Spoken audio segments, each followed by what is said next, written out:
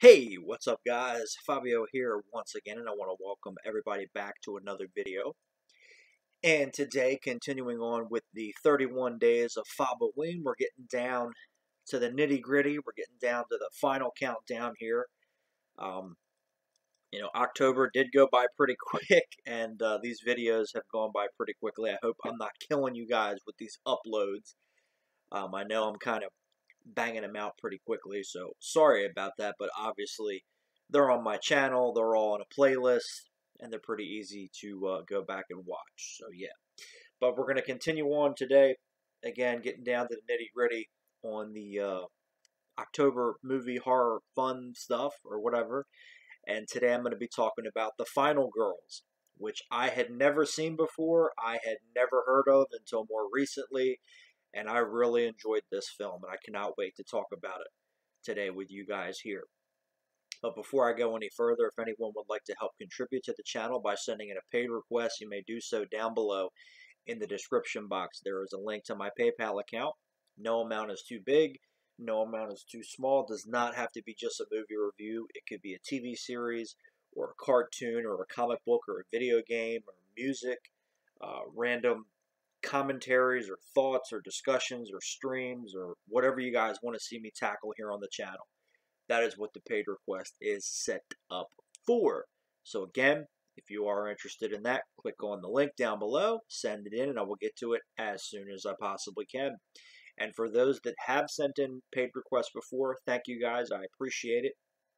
It means that you guys actually care about what I say and do here on the channel and you want to see me do some different things. And it does motivate me to keep wanting making videos, so it's a win-win for everybody.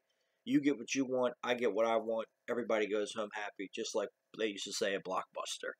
But yes, The Final Girls. Again, um, I heard about this movie more recently, a little while ago. I actually paid request.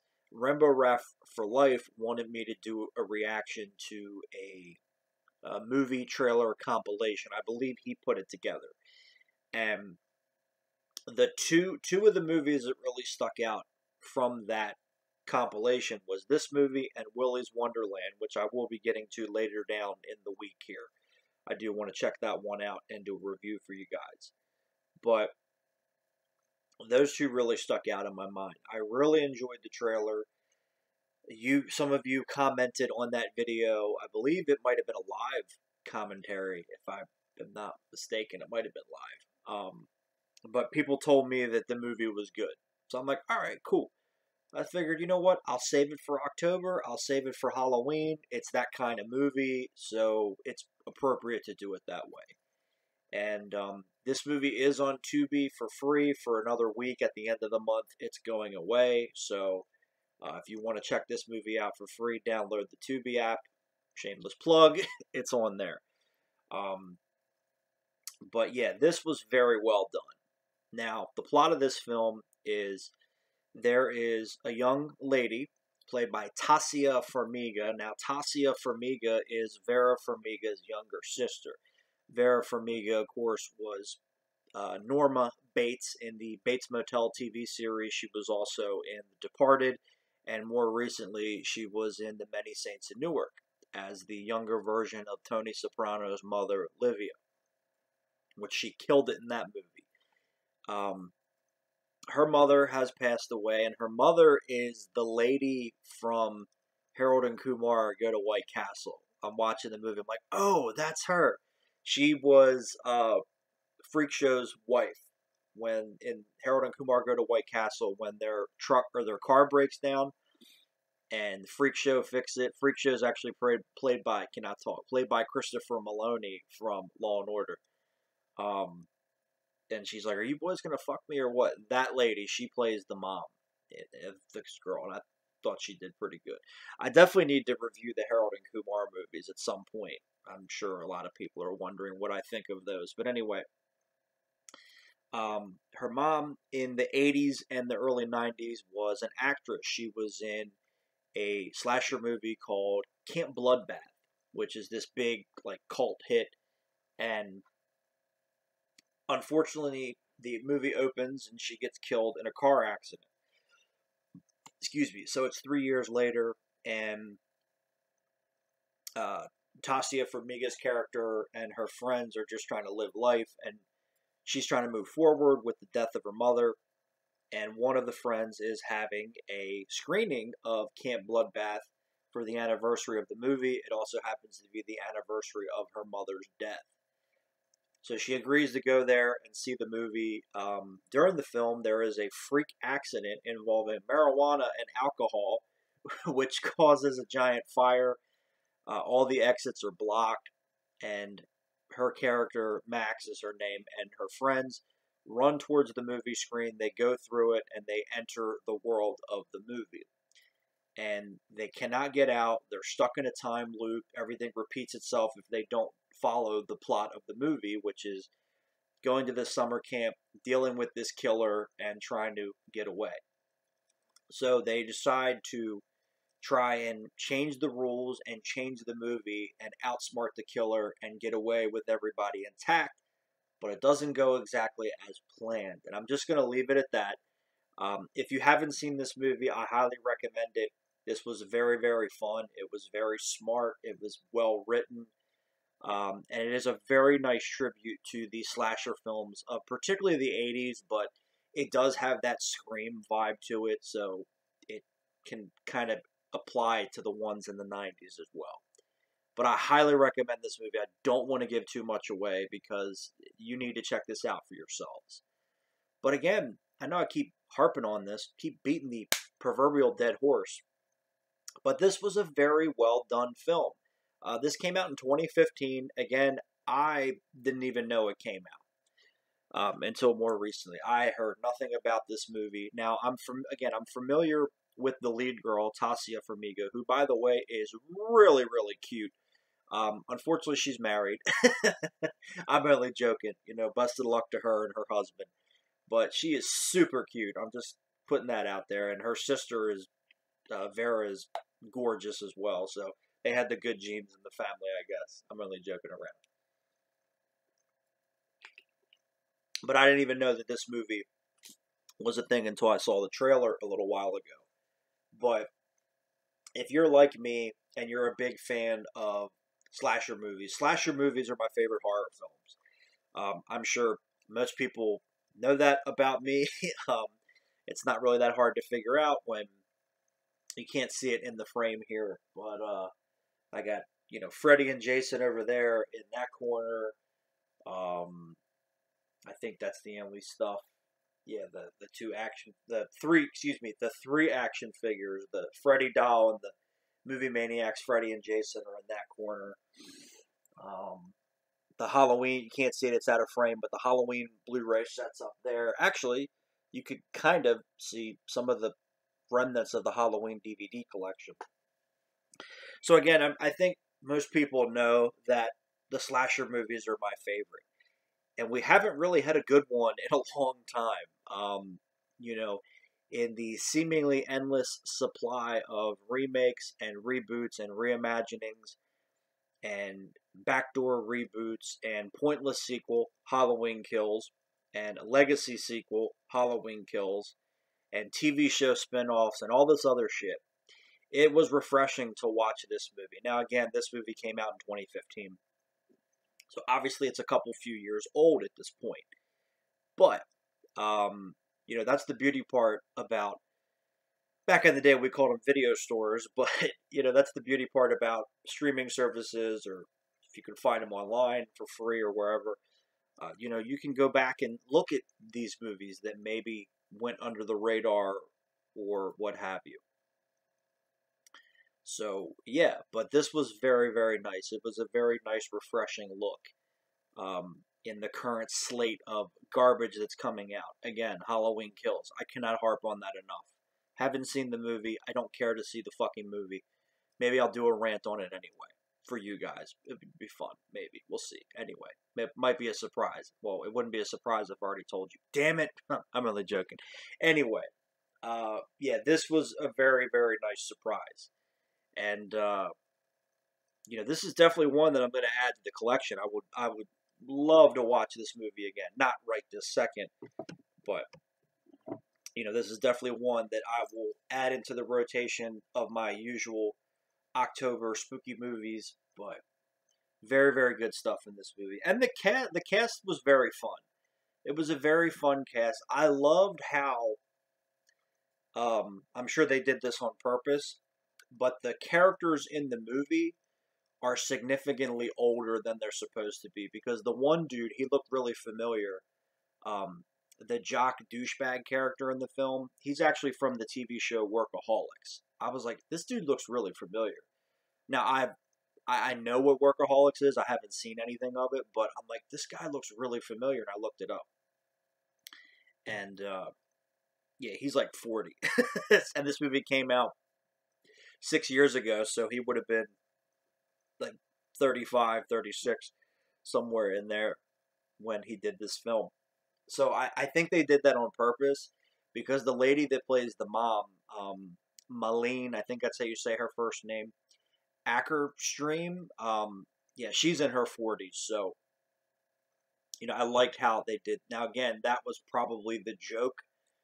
I got the joke. I don't know about other people, but that was I liked how they did that. And then the the the real cast, you know, they they were obviously in their 20s and such, you know, younger than that, maybe some of them, but no, I liked how they did that. And uh, again, I'm sure they did that on purpose as an inside joke because even now it's like, okay, they're in high school, but they're 30. Like, it's weird. you know, like in Ferris Bueller, Alan, I don't remember how old uh, Matthew Broderick was, but Alan Ruck was like 30 when he did Ferris Bueller. Um, but he looked really young. So they definitely did that on purpose, which is cool. But the cast is a lot of fun. The the movie characters, you know, obviously that's how those roles were written is to just have fun and, and be stereotypical. And it definitely has that. This movie definitely has the tropes and you know the people that wrote this obviously were huge fans of these movies and it's a it's a nice take on how they did that um, you know they kind of did scream but in a little bit of a different way which was nice but they all did fine. Um, the the the real cast all did fine. Uh, Alexander Ludwig is also in the movie. He was in Grown Ups 2 as David Spade's son. He was also in Lone Survivor. He was on the I think it's called Vikings. I don't know of the show, but I think he was on that. It might be over at this point. But he did fine. Again, Taissa Farmiga did great. She obviously carried the movie on her shoulders. You know, she did awesome in it. Um, the other girl that was her friend, the really pretty girl, that's actually because I'm looking at her and I'm like, she looks familiar. It's actually Nina Dobrev from Vampire Diaries. I've never seen Vampire Diaries. I just know what it is. And Kevin Williams, speaking of Scream, Kevin Williamson actually created that series. So maybe I need to go watch it now. I don't know. But Nina Dobrev was one of the leads on Vampire Diaries. And I'm I'm like looking at her. I'm like, how old is she? Because she looks, I mean, about my age. She's only a couple years older than me, but she looks. I mean, she's abs- absolutely phenomenal looking. She's stunning. Um, and then uh, the it, little fun fact: the douchebag dude in the movie and the uh, Paula, the girl that was supposed to kill the villain, they're actually married in real life. They met on this film and started dating, and now they're married. So hey, that's awesome, cool, uh, good stuff. But everyone did fine. The cast did fine. The uh, the cinematography and the production values and the set design all look good. They were obviously going for that 80s slasher movie look, and I love how they call it Camp Bloodbath. That's cool. I like how the killer is supposed to look like Jason, but the mask is different, and the fact that he uses the machete is good. Um, you know, again, no weird editing or shaky cam or any of that. You know, they definitely filmed it in the old style, which again really really helps the movie. Um, you know, the only the, the two issues that I have with this film, and I think it's the issues that most people have. Number one, the CGI. There was just such a huge abundance of CGI in this film. Um, particularly the opening car crash. You know, you could have got stunt people to do that. Now, I'm sure the budget for this movie wasn't that big because this actually, and no wonder, it it passed by me because it only had a limited theatrical run, and then it went straight to uh, on demand. It was a video on demand title before streaming completely took over. Because you have to remember, 2015, you didn't have all the shit that we have now. You basically only had Netflix and Hulu. We didn't have all this other shit. But anyway, no wonder it passed by. But, you know, they definitely could have spent a little bit of the budget and instead of putting it towards shitty CG, they should have put it towards the uh, some of the stunts and like the opening car car crash could have been done with practical. Um, some of the kills could have been done with practical, and that kind of leads into the other problem. I think the biggest problem that this movie has it's PG thirteen. Now, that had to be done. That was a studio mandate. I was reading into it. It had to be a PG 13. But I think in the long run, it kind of hurts the movie because the majority of the slasher films that came out in the 80s, actually, probably all the slasher films that came out in the 80s, were rated R. It's just how it was back then. It was you didn't have, you know, the luxury of doing a PG-13 slasher film. Um, and the some of the and honestly, the a lot of the ones that are PG thirteen that are slasher movies suck, like Cry Wolf, which is not really a slasher film. But I'll get to that movie at some point. Um, maybe if I have time, I'll review it this month. I uh, maybe we'll see.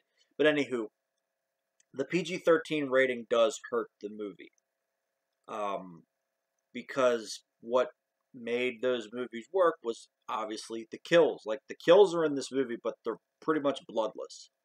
There's not really a lot of blood in this movie. And I think if you really wanted to do it right, it should have been rated R because you should have had the over the top kills like Friday the 13th and Halloween and Nightmare on Elm Street and so on and so forth. I get you know, the whole Nightmare on Elm Street being a slasher movie is debatable, but I guess it is. because they call Freddy the Springwood Slasher. But anywho,